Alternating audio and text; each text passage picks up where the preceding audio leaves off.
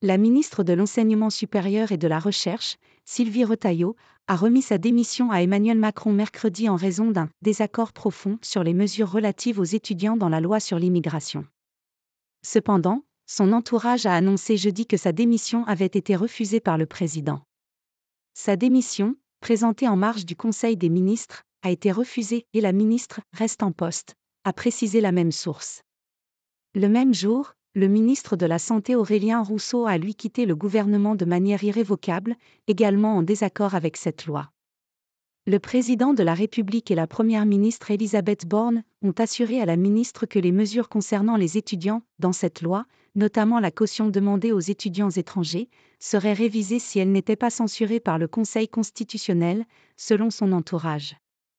Emmanuel Macron a jugé mercredi soir dans l'émission C'est à vous, sur France 5, que cette caution n'était pas une bonne idée, mais que les dispositions qui ne plaisaient pas ne justifiaient pas de tout bloquer. Après l'adoption de cette loi controversée, avec les voix de la droite et de l'extrême droite, Sylvie Retailleau avait rappelé à la Première ministre son désaccord profond sur les mesures concernant les étudiants, selon son cabinet, puis elle a entendu les doutes exprimés à ce sujet par Elisabeth Borne sur France Inter mercredi matin.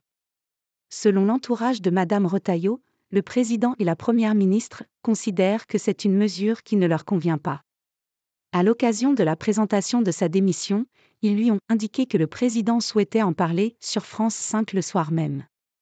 Le président et la première ministre ont refusé la démission en lui renouvelant leur confiance pour porter les chantiers d'avenir, a ajouté la même source.